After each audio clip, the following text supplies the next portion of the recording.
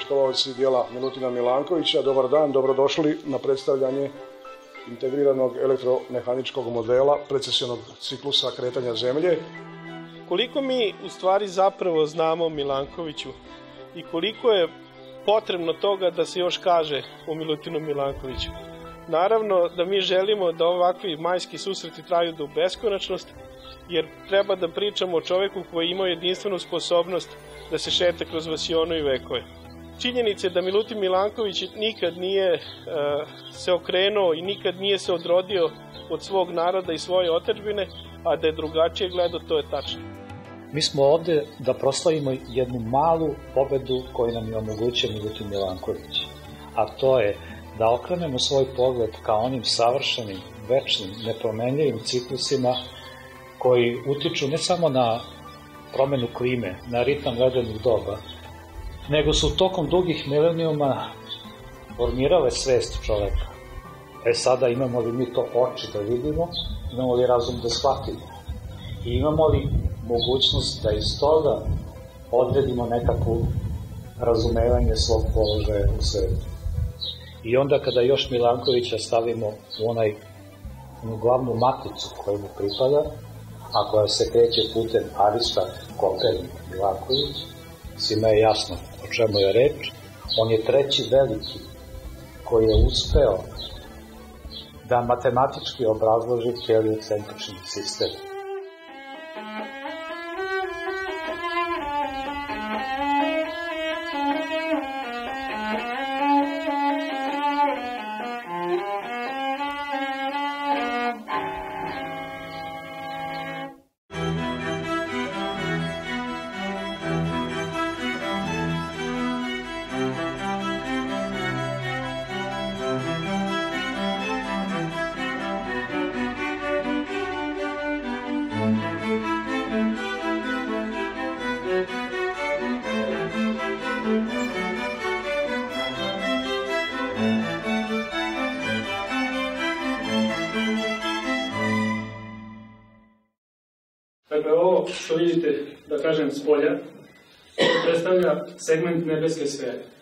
Svojim meridijanima.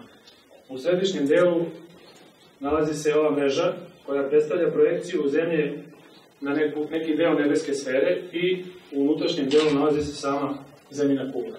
Gde god se nađe sunce, upalit će se pojedna lampica da simbolizuje tu presečnu tačku, zamišljenu presečnu tačku između ekvatora i ravnije ekliptike, što predstavlja ravnodnevnicu prolećnu i jesenju.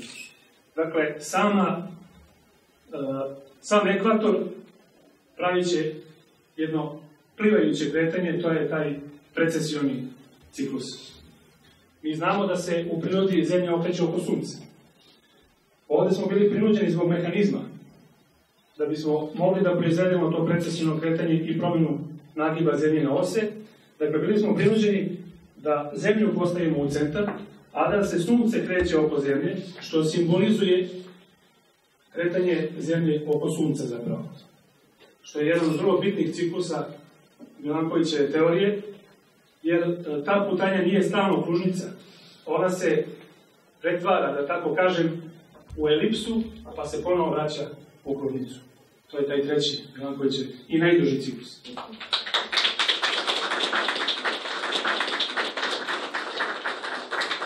Vrlo jednostavno.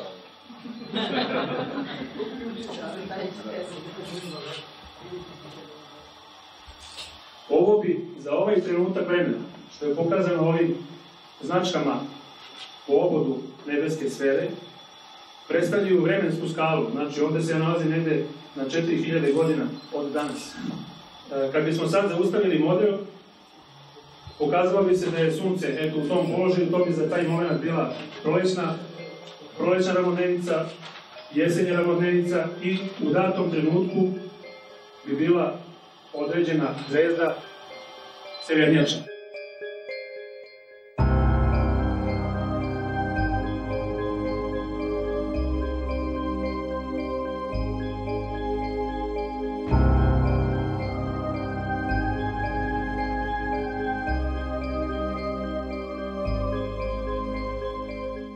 Centripetalna figura Milutina Milankovića i njegova diskretna eminencija u svetu nauke već duže vreme zaokuplja pažnju grupe entuzijasta različitih polja interesovanja, da širo javnosti približi nauk ovog velikana srpske i svetske klimatologije, koji antičkom jednostavnošću govori o makroprocesima na klimi naše planete, što imaju univerzalno kosmičko značenje.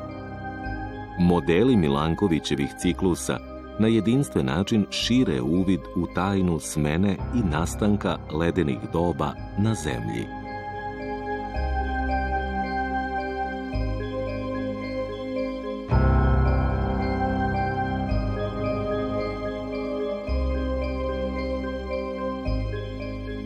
Milanković lepo kaže u svojim memoarima da će njegovo delo delovati svojom snagom, samo od sebe. I to zaista, tu potvrdu da je to zaista tako, možemo da vidimo danas svuda oko nas. Praktično nema ni jednog dela ove naše planete gde Milanković i njegovi ciklusi nisu, nisu potvrđeni. Ali ono što je još više od toga važno, to je da se uh, ljudi, stvaraoci, okupe oko ideje Milankovića, znači oko, oko njegovog dela. I evo danas se nalazimo u jednom ateljevu koji je postao atelje Milanković. To je atelje Vuka Đuričkovića, gde se rađa novi Milanković, skulptura Milankovića, jedna ideja o Milankoviću koji treba da izađe u javni prostor i da magnetiše našu kulturu snagom i veličinom svog dela ali to je možda samo vrh ledenog brega.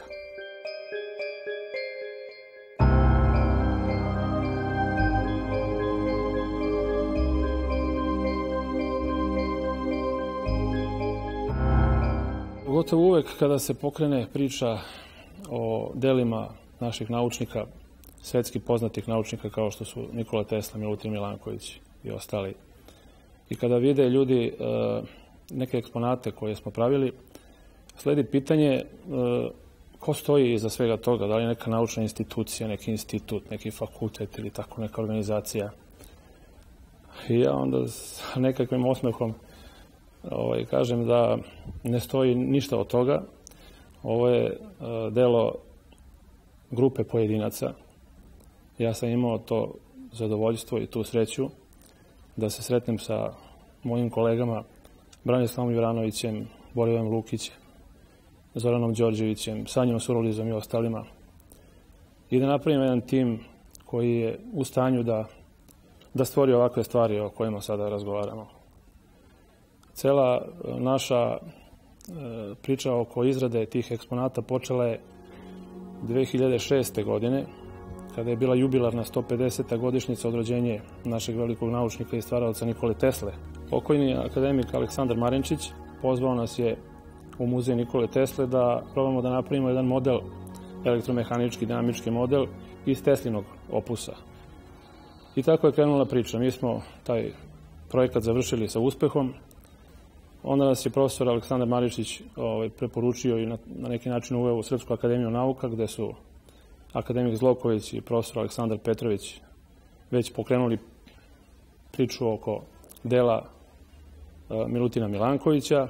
I tako je krenuo taj naš razvojni put što se tiče Milankovića. Usledila je izložba 2009. godine kanon Milankovića u Srpskoj akademiji nauka gde smo mi pravili nekih šest dinamičkih eksponata koji su bili prikazani na toj izložbi i taj entuzijazam doveo je do izrade prvog u nizu elektrodinamičkih mehaničkih modela iz opusa Milankovićevog dela, koji smo mi nazvali model precesije. Taj elektromehanički dinamički model je unikat u svetu. Mi smo ga radili gotovo 10 meseci.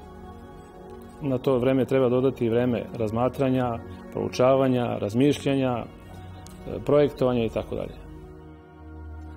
Radomir, Bane i ja smo sarađivali i pre ovog projekta. Međutim, u momentu kada je počeo da se priča o ovom projektu, ja se malo uplašio. Ipak ja sam akademski vajar i ovo je za mene izgledala jako velika i teška, pre svega tehnički, teška za izvođenje stvara. Ja u to se nisam baš razumeo i shvatio sam da je moj zadatak samo da e, unesem nekakvu estetiku u ceo taj, u ceo taj projekat. E, pošto je to trebalo da bude spoj između nečeg što e, je staro, jer je to ovaj, vremenska stvar, E, rešili smo da to bude mesin koji je topao materijal i koji je večer materijal. Morao sam dosta da učim, pre svega od kolega. Najviše u tome mi je pomagao Bane, zato što smo mi morali da budemo u koordinaciji takvoj da budemo precizni, jer mere su, mere su nekad i, u, i baš bile u milimetrima. Nije smelo da dolazi do nekog odstupanja, zato što, iako je to veliki, veliki ovaj, eksponat, on je prečnika jedan, jedan metar. E, osim toga, ceo taj eksponat je bilo ugrađeno jako mnogo kablova, elektronike i sve to trebalo tako sakriti, spakovati i to kad je krenulo onda se, se stvari tako dešavale da se maltene samo po sebi rešavalo. I moment kad je to prvi put izašlo u javnost, kad su došli ljudi to da vide, mislim, malo sam, malo sam se iznenadio šta smo sve napravili. Eksponat je prilično složen što se tiče mehaničkog dela. Čak smo, eto, nekada e, za taj model i pravili male modele da bi skapirali kako to radi i kako će raditi. Teško je bilo sinhronizovati sva ta kretanja, ali eto, ovaj, sve to proradilo i radi dan danas ovaj, u dalju gde mu je i mesto.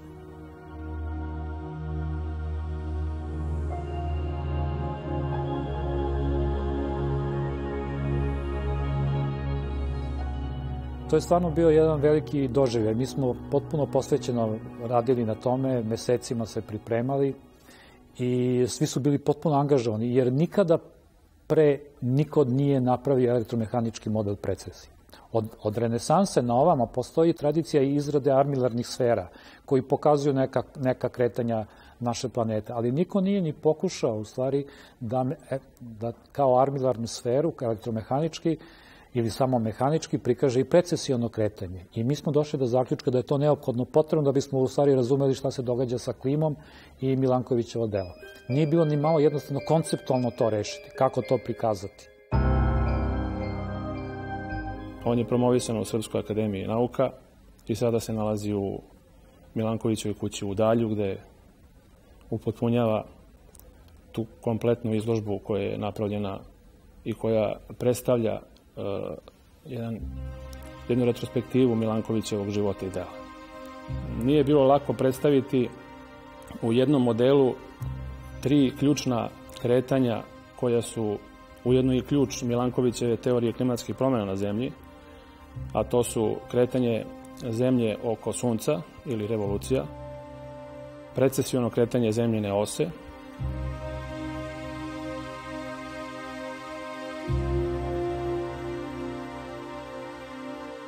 i promjena zemljine putanja oko sunca. Model takođe prikazuje i okretanje zemlje oko sobstvene ose ili ti rotaciju. Trebalo je izvesti efekte toliko uočljive i pojednostaviti ih da publika koja nije iz oblasti tehnike, nauke, klimatologije, uopšte koja nije tehnički obrazovana, da shvati i da prepozna ta zemljena kretanja od kojih, kako je Milanković svojom teorijom dokazao i pokazao i matematički modelirao, zavisi e, klima na zemlji, odnosno kako se ona ponavlja ciklično.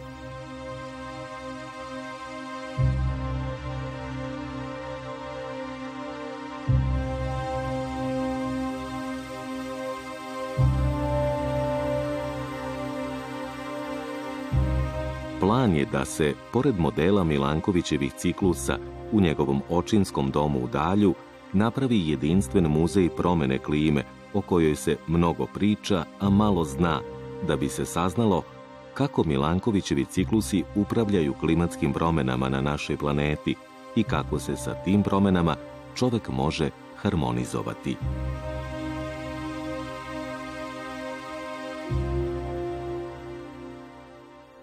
Milanković zrači Milanković deluje. On je to uporedio kao sa snežnom grudvom koja kada se lagano kotrlja niz neku padinu postaje sve veća i veća. I to je uporedio sa ljudskim životom. Ali očigledno i, i, i da posle kraja njegovog života ta grudva nastavlja da se kotrlja i da zaista obuhvata one koji dobro razumeju o čemu je reč, a i one koji bi želeli da shvate i koji e, su dovoljno e, e, sabrani da uoče da Milanković otvara vrata ne samo u 21. vek, nego u vekove koji dolaze. Zaista to što je on uradio, kanon osunčavanja, je nešto što spaja vekove. A spojio je i nas u jednoj potpuno nespecifičnoj multidisciplinarnoj ekipi koja, eto, rešava vrlo složene zadatke koje niko pre, pre njih nije rešio. Tako da smo se, eto, naša kultura upisala u one kulture koje su uspele da nešto urade u nebeskoj mehanici, da predstave to po prvi put i da se nađe u jednom nizu koje je istovremeno sinteza izrade tih armilarnih sfera, koja je istovremeno sinteza i razumevanja nebeske mehanike i razumevanja jednog e, umetničkog doživljaja koji to treba da nam e, predstavi, približi e, i odredi na neki način našu poziciju u svemu tome. Sam model e, precesije je e, trodimenzionalni model. U središtu je zemlja, e, zbog fizičkih nemogućnosti e, prikazivanja stvarnog kretanja planeta u sunčevom sistemu, mi smo se opredelili da Zemlja bude u centru modela, I još jedan razlog je u, tome e, da Zemlja bude u centru modela što je naš sistem opažanja e, vezan za, naš, e, za našu tačku, odnosno za našu planetu Zemlju, jer se mi nalazimo na Zemlji. Naša čula nemaju predstavu o apsolutnom mirovanju ili apsolutnom kretanju, nego o relativnom kretanju. Dakle, mi vidimo kretanje samo ukoliko se ono dešava u odnosu na neku nama vidljivu tačku ili objekat. Evo u ovom trenutku mi dok sedimo i razgovaramo, mislimo da mirujemo. Međutim, mi se u okvirima svemira, kome se nalazimo, evo, zahvaljujući što smo na planeti Zemlji, i urcamo kroz svemir. Zahvaljujući tome što se Zemlja okreće oko svoje ose, mi se krećemo brzinom od oko 1660 km na čas. U isto vreme Zemlja se okreće i oko Sunca, pa se usled tog okretanja krećemo još dodatnom brzinom od oko 107.000 km na čas. I pri tome naš sistem čula i opažanja ne primećuje tu brzinu jer nemamo referentnu tačku za takvo opažanje. Međutim, ako imamo e, tačku na zemlji koja se kreće ili miruje, mi možemo da opazimo kretanje u odnosu na tu tačku ili na taj objekat. Dakle, da se vratimo modelu. Model u središtu e, ima zemlju, čiji je ekvator raširen u nekakvu zapreminu svemirskog prostranstva do takozvane ravni ekliptike. To je zamišljena ravan po kojoj se Zemlja kreće oko Sunca, odnosno vrši svoju revoluciju. Te dve ravni, ravan ekvatora i ravan ekliptike su bitne za celu priču oko precesije i oko promene nagiba zemljine ose, jer zamišljeni preseci tih ravni prikazuju određene tačke godišnjih doba na zemljenoj putanji oko Sunca. Sva ta kretanja je trebalo sinhronizovati, usaglasiti, uraditi ih prema pravilima e, svemirske mehanike. U tome nam je pomoglo iskustvo u trodimenzionalnom modeliranju. Moj kolega Aleksandar Jovanović i ja napravili smo kompjutersku animaciju onako kako bi trebalo da izgleda finalni proizvod. Profesor Aleksandar Petrović nju prezentirao našem astronomu Zoranu Kneževiću, koji je pregledao animaciju i onda smo praktično dobili zeleno svetlo da možemo da izvršimo projektovanje e, svih elemenata modela kako se to inače u elektromašinstvu i radi. Sve ta e, priča o Milankoviću e, prevazilazi okvire obične naučne diskusije, običnih naučnih rasprava, jer Milanković zaista izašao u svetove koji koje nije moguće doseći e, bez multidisciplinarnog pristupa, bez nekakvog dubljeg uvida, bez povezivanja nauke i umetnosti. On magnetiše, on animira i danas i on je potpuno živ. I evo da u ovom ateljevu imamo priliku stvarno da prisustujemo njegovom ponovnom rađanju. Prilikom izrade portreta Milutina Milankovića nije mi bilo toliko bitno e, da sličnost, ta fizička, koliko, sam hteo da na neki način prikažem da pokušam na neki likom, likovni, jez, likovnim jezikom skulptorskim da izrazim uh, to njegovo delo i šta je on u stvari uradio i iščitavanjem literature i gledanjem naravno dokumentarnih fotografija shvatio sam da je, da je njegova te, teorija heliocentrična i razmišljao sam o tome kako bi mogao da se u, nek, u neki eventualni spomenik, u skulpturu, da se, da se unese funkcija sunca. I onda nam je u nekom razmišljanju meni i mom kolegi Peđi Milosavljeviću palo na pamet zašto ne bi sunce bio integralni deo, interaktivni deo skulpture i onda smo shvatili da bi on trebao da, da bude u, u centru sunčevog sata, odnosno on bi trebao bude ona igla koja pokazuje koliko je sati i on se naziva, ta igla se naziva gnomon, to na grčkom znači onaj koji zna. I onda smo shvatili da je to to jer Milutin Milanković je prosto bio čovjek koji je znao. Ništa je, on je potpuno bio siguran u te svoje proračune, izveo ih je onako, kako bi se reklo, peške, peške ovaj, šestarom milenirom. E, tako da je odmah nam je bilo jasno da, da je to pravo rešenje sunce pada na njega i otkriva nam vreme pozadi na sunčevom časovniku i to je neka ideja vodilja prilikom eventualne buduće izrade tog spomenika. Ovo je samo stilska vežba da zadovolji i ukus običnog posmatrača u smislu da, eto, da kaže ovo liči na Milankovića. Iako mi je bilo bitno da se ta njegova blagost i njegov lirski umetnički pristup stvarima koje on pokazuje u, u svojoj popularnoj naučnoj literaturi, i da ima smešak koji bi govorio koliko to njegovo lirsko prirodi, toliko o tome da je on bio siguran u sebe, bez obzira što su ga za života osporavali,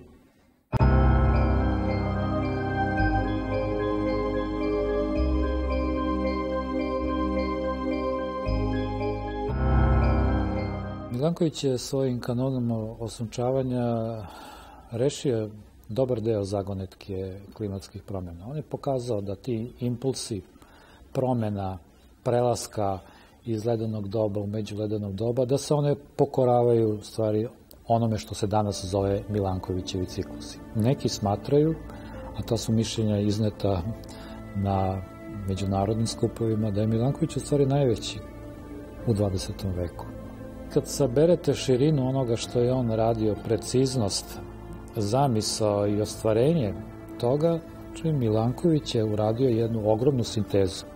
Bez njega, bez te njegove sinteze, iako su elementi te sinteze bili poznati ranije, mi ne bismo imali celovitu sliku. Mi ne bismo imali osnov da razumemo šta se događa sa klimom, njenom dinamikom, njenim neprekidnim promenama. Nagađali bismo od danas do sutra. Ono što je ponudio Milanković, to je celovita slika zemlje kao kosmičkog sistema koji u odnosu sa suncem u jednoj heliocentričnoj perspektivi uspostavlja režim svog toplotnog života. I to je zaista značajno, to je zaista presudno, jer bez toga bismo, što se tiče klimatskih promena, bauljali još uvek u nekakvom mraku. Empirijska razmišljanja nisu dovoljna, modeli nisu dovoljni, potrebna je velika teorija, a Milanković je to ponudio zaista grandiozno sa svojim kanonom osunčavanja. Da je reč samo o naučnoj teoriji, tu bi se možda priča mogla i da završi. Međutim, kod Milankovića tek počinje. Da to što je on uradio nije samo teorija. Ona je viši oblik saznanja stvarnosti, to je kanon. Najsublimniji, uh, najsublimniji oblik do koga znanje može da se podigne jeste kanon.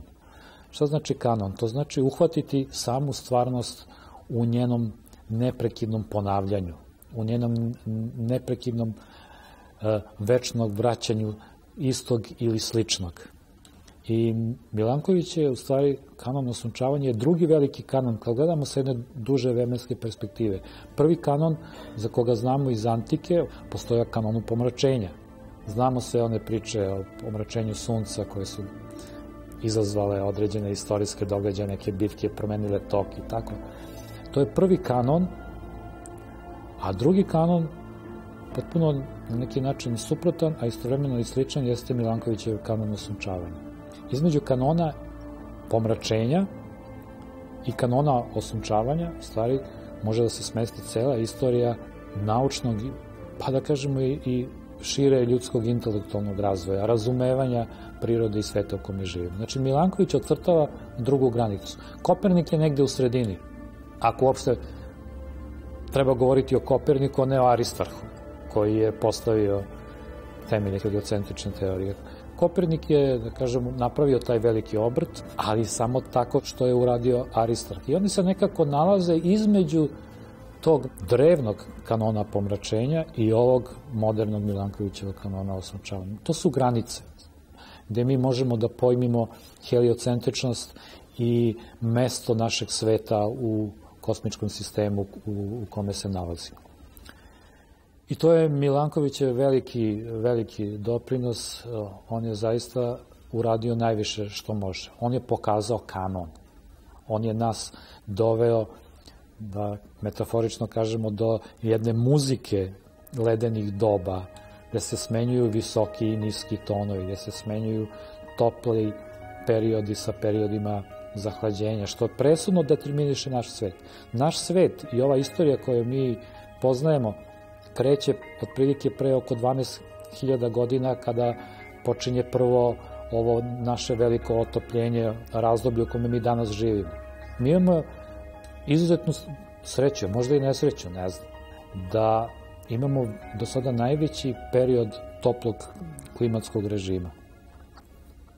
U ranijim geološkim fazama koje determiniše Milankovićeva kriva, verovatno i ranije, nemate tako dugačak nikad topao period. Uvek imate frekventnija ledena doba. I sad antropološki gledano, prijatno je živjeti u toplom i tako dalje. Međutim, kao što znate, kad je previše toplo, množe se i uh, virusi i različite negativne sile. Tako da i ljudi koji su uh, već to više od 10 uh, milenijuma žive u toploj klimi, već pogubili svoje razumevanje sveta u kome mi živimo. Ne razumeju šta se zapravo događa i šta znači taj ledeno doba koje na neki način briše, briše sve. Znači uvozi, uvodi jedan drugi toplotni režim koji zaista briše ono što je neko pamćenje onog toplog perioda. Mi ne znamo ništa, u stvari imamo vrlo malo informacije o tome šta se događalo pre ovog poslednjeg, poslednjeg ledenog doba. Tu i tamo je nešto pronađeno, ali mi nemamo pravu ideju šta se događa, mi zamišljamo da je to prazno. Verovatno nije prazno, verovatno je, kao što je najčešće slučaj, praznina u našim glavama. Klima presudno određuje u stvari civilizaciju. Kada otvorite jedan prostor, jedno vreme toplog razdoblja, mi prolazimo razne faze, to su već arheolozi imenovali paleolit, neolit, starije kameno, mlađe. Sve je toplije i toplije od tog vremena. Događaju se bitne promene u okruženju čovek na njih reaguje. U tom toplom okruženju on može da postavi sedelačka naselja, da sedi, da više ne luta kao paleolitski lovac. Neki su antropolozi izračunali da je ljudima koji žive tamo blizu ekvatora potrebno da bi izdržavali mnogopojnu porodicu koji imena ni ne znaju, da im je potrebno oko 5 sati rada, ali nedeljni. Sad možete misliti da se ti ljudi nalaze negde na severu, potrebno mi je bilo 5 sati rada pre podne i 5 sati rada posle podne.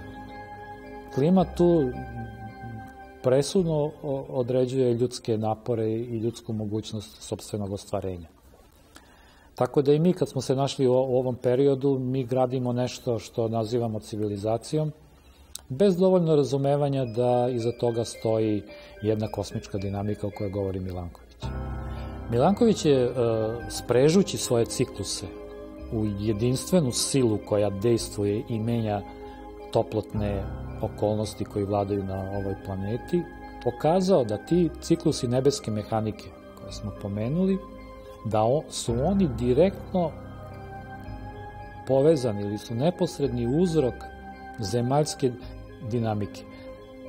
Ciklusi koje možemo otkriti u stratigrafiji, znači u taloženju slojeva tokom dužeg vremenskog perioda, bilo na morskom dnu ili na površini zemlje, svojom dinamikom potpuno odgovaraju, preslikavaju, tako reći, preslikavaju ono što se događa na nebu.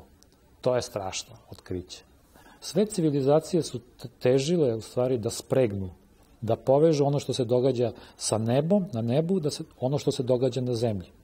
E, a ko je uspeo u tome? Pa uspeo je Milanković. On je spregao i pokazao u stvari da je ono što se događa na, na zemlji samo slika onoga što se zbiva na nebu. I to je jednostavno potpuno kao u nauci nekakav udar meteorita. Znači, on je raspršio sve te sumnje, on je prvi napravio od klimatologije egzaktnu nauku. Pre toga je to bilo opis šta se događa, meteorologije i tako dalje. On je prvi uveo više matematiku u to. Jer mi smo sitni. Naš je život kao život leptira, ma i kraći, u odnosu na ove dugotrajne vremenske tokove koji određuju šta se događa i gore i dole. E, ali Milanković je, kada je ušao sa višom matematikom, znači nijedan od njegovih prethodnika tu nije uspeo, mada je postojalo znanje o tim, o tim ciklusima, uspeo da ono što nama izgleda prividno odvojeno, događaje na nebu, da poveže sa događajima na zemlji. I posle toga, naravno, to saznanje, to je kanonsko saznanje. Znači, ne samo da se ponavlja, što je prvi nivo kanona, da se događaji ponavljaju, zato što je e, ta njegova kriva osunčavanja u stvari kvazi periodična, pokazuje da tu postoji nekakav period. Nego se istovremeno taj kanon pokazuje u tome što postoji saglasje da ga tako nazovemo i neka vrsta muzike, što su voleli stari pitagorejsti, e, saglasje e, nebeskih i zemaljskih kretanja u dugom vremenskom periodu.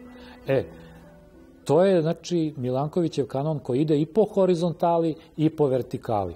Znači, koje, kako bi rečima Laze Kostića, to je ukrštaj.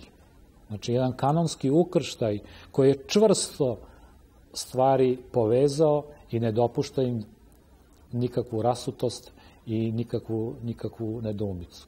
Naravno, takvo jedno saznanje, posebno što je heliocentrično uspostavljeno, duboko je uznemirilo i uzbudilo naučne duhove u vreme kada Milanković radi i neposredno posle toga. Jedni su bili za, jer su videli da tačno vide u ovim geološkim slojevima ono što se događa gore, a drugi su to osporavali, jer nisu mogli da pristanu na takvu takav stepen harmoničnosti, takav stepen spregnutosti i povezanosti. Znači, to je neki način uznemiravalo jedan, da ga tako nazovem, skeptični, skeptični duh koji je, nije želao da ima viziju te velike povezanosti u kojoj nas je uvao Milanković.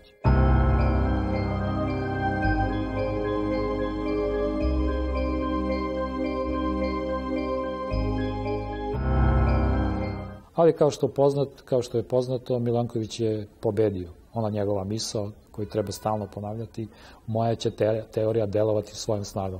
On je delovala zaista svojim snagom i za njega nije stojao niko osim istine. Osim, osim naučne istine koju je on podigao na nivo kanona. On je jedini u 20.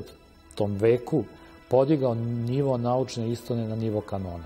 Ovo je već nešto što prevazilazi ono što mi očekujemo od nekakvog empirijskog istraživanja naučnog. Znači, ovo ulazi, zadire u, u sferu samih e, temelja civilizacije. Znači, mi se dižemo. Civilizacija ne može da postoji bez ideje kanonskog saglasja. Jer ako se sve smrvi u, u deliće, ono jednostavno divergira i beži jednog od drugog. I mi imamo sve vrste problema koje, koje upravo imamo. Milanković je protiv otrov. Znači, upravo za jednu civilizaciju rasutosti. Za jedan razoreni um. On je protiv otrov. Čovek koji postavlja granice i koji uspostavlja kontinuitet onoga što je bilo sa onim što će biti. I njegovu teoriju je kanonom nazvao njegov veliki uh, naučni oponent Albrecht Penck, koji je ceo život, da kažem, se opirao da pristane na to. E on je, kada je video u stvari te tabele i te koje je Milanković izložio kanonu osunčavanja, tih promena, on je to pred smrt nazvao, pa kaže ovo je kanon. I onda je Milanković dobio naslov svog velikog dela kanon osunčavanja. Kanon u pravom smislu te reči, ne kao kanon kao neka vrsta domišljenja kakav ćemo naslov dati, nego pravo, pravi kanon, jedini kanon u stvari koji mi trenutno u nauci imamo i koji, i koji je delotvoran i koji nas izvodi iz mraka uh, rasutog uma. E to je Milanković. To je, to je pravi Milanković u, u punom svetlu i u punom sjaju. Sve stare kulture su vodile računa o tim ciklusima, pre svega o ciklusu precesije jer su smatrale, imali su, da kažem, nekakve svoje uvide koji su zabeleženi u njihovim knjigama, zašto je taj ciklus precesijnog kretanja, zašto je važan, zašto je on povezan. U dodiru smo sa mogućnošću, sa silama nadracionalnog iskustva, nad individualnih uslova postojanja, dostupnih samo celovitom biću čoveka tradicije i kontinuiteta, da se shvati ideja centra, jedne više stvarnosti, skrivene u predelima mita od očiju modernog čoveka, ograničenog njegovom partikularnom, humanističkom stvarnošću.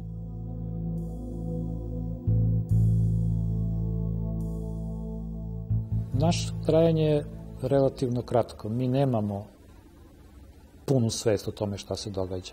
Naše sve biblioteke su spaljene. Počevši od one znamenite biblioteke prvog univerziteta na Lambda u, u Indiji, koji je nastao u, negde u petom veku, a spaljen potpuno, 700.000 knjiga je spaljeno o, u, u 13. veku, pa do Aleksandrijske biblioteke, koja je takođe tri puta spaljivana, pa do Beogradske biblioteke, e, mi nemamo u stvari pravi izveštaj šta se događalo. Nemamo pravi izveštaj i e, moramo imati ozbiljniji respekt prema uvidima tih starijih kultura koje su dublje negde uspevale da pamte, nisu bile toliko autodestruktivne kao što je naša. Nisu razarale svoje rukopise i uopšte svoje zapise. Sa tom svešću o trajanju, o povezanostima događaja, mi možemo da se danas u ovom periodu izbrisanog sećanja, jer mi se još nismo oporavili od sloma Aleksandrijske biblioteke mi najbolje možemo da se upoznamo u stvari i da shvatimo to upravo kroz Milankovićevu matematičku teoriju klimatskih promjena. Ona jeste teorija klimatskih promjena, ali ona iznosi jedan smisao više, u stvari daje neku mogućnost integracije svesti civilizacije, znači poziciji uopšte koju mi imamo i u vremenu i u prostoru. Milanković nam to daje. To je teorija presudnog značaja. I kada tako bude shvaćena, neće samo 21. vek biti njen, bit će i niz narednih vekova, zato što ona govori o vekovima vekova. Nema problem sa vekovima. I mi kad ne budemo imali problem sa vekovima, mi ćemo sigurno mnogo bolje i, a, i, i razumnije shvatiti svoju poziciju. Jer sve zavisi u stvari, i to Milanković nas upozorava, od našeg odnosa sa suncem. Religija je trenutak hvatanja ravnoteže, centrirana ka ravnodnevici, gde se događa vaskrs. Poljoprivreda je takođe, znači, koncentrisana ka toj gama tački, gde se takođe događa vaskrsu, da će seme umreti i doneti plod. Kad to shvatimo, vidimo punu saglasnost, u stvari, cele duhovno-materijalne vertikale. Ne možemo sejati zimu i ne možemo slaviti Vaskrs u zimu. Možemo, neko može da donese dekret, ali je besmisleno. Mi to radimo u trenutku kada postoji kosmički signal da ceo život počinje da se preporađa i počinje da jednostavno da buja i da se nezadrživo i nestišljivo kreće. Kad život ponovo odnosi svoju pobedu, e u tom trenutku mi možemo da ga slavimo. Pre toga mi jednostavno, ako proizvodno postavljamo te trenutke obnove kao što je ovaj besmisleni trenutak 1. januara koji se iz ne znam kog razloga, zato što su Rimljani postavljali svoje konzove tog datuma slavi, a trgovci su to dočekali obe ručke da prodaju zalike koje imaju, ali mi nemamo pravu obnovu od toga. Nemamo pravu obnovu. Mi smo malo potrošili novca, ali to ne donosi kao pravo ispunjenje, nego eto tako, malo anestezije. E, postavlja se e, jedno pitanje zašto obnova života ide sa trenutkom ravnodnevice? Zašto život kreće baš u tom trenutku? Zašto to ne kreće sa uh, trenutkom dugodnevice? Mi u suštini nemamo odgovor na to pitanje. Nismo to prihvatili da je to tako, kao jedan aksijom i jeste tako.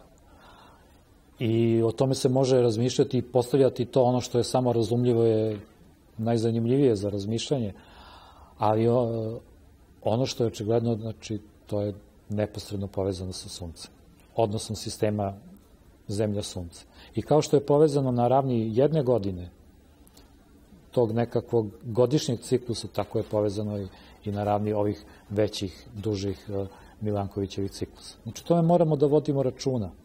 Ukoliko uopšte mislimo o, o sudbini naše civilizacije. Ne možemo da mislimo o sudbini civilizacije u nekakvim ekonomskim kategorijama ili nekakvim ekološkim kategorijama koji ne, ne uviđaju celinu stvarnosti. Ne možemo da mislimo o, o klimi kao produktu e, tehnološkog forsiranja. Znači, tehnološko forsiranje klime postoji, znači, tehnološko nasilje nad, nad, nad klimom postoji. Ali ako se ono posmatra izolovano, ako, se, ako je ono izglobljeno iz e, okvira kanona, e, nećemo doći do, do pravih rešenja i može se desiti da nas budući događaj jako iznenad i da iznenađeni nećemo znati gde da se okrenemo i šta zaista treba da radimo. E zato je tu Milanković. Zato je tu Milanković koji lepim jezikom i književnim i matematičkim, jedan i drugi su lepi jezici, uspeva da kanonski postavi, kažem, naš nekakav hod u ovom vremenu gde nam se čini da mi vladamo ovom planetom. Preuzeli smo vlast od dinosaurusa, ali pitanje je da li mi e, smo dovoljno pametniji od njih da nas ne stignu slične iskušenja koje su njih počistila ovaj, sa lica ove zemlje. Zato je Milanković, opet se vraćamo na njega, zato je važan. I kao što je e, kultura, možda naučna kultura, omeđena kanonom pomračenja i kanonom e, osunčavanja, u dugom vremenskom periodu, znači ukupna ova kultura koju bismo mogli nazvati evropskom, tako i srpska kultura takođe omeđana. Takođe Milanković je međaš e, drugog ishoda srpske kultura koja počinje u pravom smislu sa nomokanonom. Znači imate kanon na početku, nomokanon i imate kanon na kraju, znači kanon osunčavanja. Između je sve smešteno. Znači sve što nije kanonsko, ono je manjeg snage, manjeg značaja u odnosu na ono kanonsko. Zato što kanonsko daje onu osnovnu stvar, a to je integracija, to je povezanost, to je prisutnost, sabranost.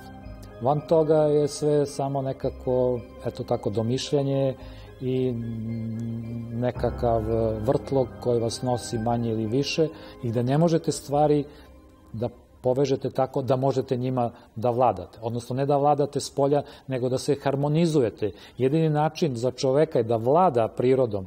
Nije onaj omiljeni pojam eksploatacije i poboljšanja komfora ljudskog života, nego da se harmonizuje. Tada će mu priroda dati da vlada. Ako on ide, da kažem, tvrdo, sa nasiljem i ističe nekakve ideologije konformizma, napredovanja, služenja ljudskim potrebama, odgovor će biti žestok. Jedan od tih odgovora i jeste klimatska zagonetka. Danas su ljudi jako zabrinuti i postavlja se pitanje klimatskih promena na različitim nivoima. Ali se postavlja pitanje, ne ulazeći sada motivaciju svih tih pitanja, postavlja se pitanje. A mi ne možemo van toga, van tog klimatskog okvira, mi ne možemo što da zamislimo sebe. I zbog toga treba o Milankoviću misliti, treba ga vratiti na univerzitet treba uh, raditi na njemu i to je neki način bio naš motiv. Čini mi se da je rad na Milankoviću kao pravljanje nekog splava, gde ćemo mi na tom splavu, ne na Titaniku, tako, nego na tom splavu gde ćemo mi moći da pređemo na drugu obalu. Oni koji se ukrcavaju na Titanik zato što na njemu muzika svira, plašim se da prave pogrešan izbor. Jer između Titanika koji su pravili profesionalci i Nojeve barke koji su pravili amateri, treba izabrati uvek Nojevu barku. Jedan splav, gde se ta debla sprežu da bi bila jedna. I splav je neka vrsta kanona koji mi koristimo da bismo prešli sa jedne strane na drugu stranu. E, to nam upravo omogućava Milanković. Sprezanje, harmonizaciju i prelazak na drugu stranu. Zato je on napustio Austro-Ugarsku imperialnu predstavnicu i došao u jedan malu metropolu kao što je Beograd, da bi tu razvijao to i da bi tu saopštio tu svoju poruku. Znači, priča skoro ima biblijske dimenzije.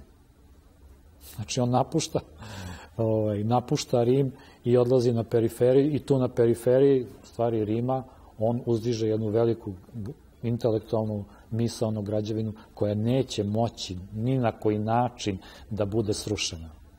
Koliko god se budu trudili, kao što su se trudili, spaljivali narodne biblioteke i ostalo, nikada to neće moći da sruše. I vrlo je simbolično što je u bombardovanju 6. aprila 700.000 knjiga izgorelo, A Milankovićeva knjiga koja se u tom trenutku štampala i na kojoj je pala bomba je preživela to. Znači, sve su knjige izgorele na jednoj strani, a rodila se jedna druga knjiga. To je koji imaju oči da vide, dovoljno simbolično i dovoljno značajno da bismo razumeli uh, kakvo intelektualno i kulturno zaveštanje nam je ostavio Milanković. Milankovićev kanon potvrđuje fundamentalnu istinu tradicije da iznad zemaljske naše stvarnosti postoji viši nivo nebeske stvarnosti od koje mi direktno zavisimo, kojoj smo podređeni. Kanon potvrđuje tu hijerarhiju i opovrgava dogmu savremenog čoveka koji te više sile ne poštuje. Mera naše zablude i iluzije o progresu je mera dubine našeg pada i stradanja zbog odbacivanja večne tradicije. Savremeni čovek mora shvatiti da njegova sloboda ima i granice, tamo gde počinje Božja sila višega reda. Sve na zemlji opstaje samo ako je u saglasju sa višim silama. Kanon govori o realnom postojanju viših sila, postojanju onoga što je božansko, govori o simfoniji nebeskog i zemaljskog. Kad god je simfonija narušena, nastaje kataklizma, kao kataklizma modernog čoveka. Moćnom mišlju Milanković nas vraća u večno, ciklično poimanje života. Toplotom i sjajem nevidljive vatre tradicije, Milutin Milanković nas svojim kanonom budi iz sveopšte iluzije modernizma – i na veličanstven način nas vraća u carstvo sunca. To je naša harmonija sa božanskim silama.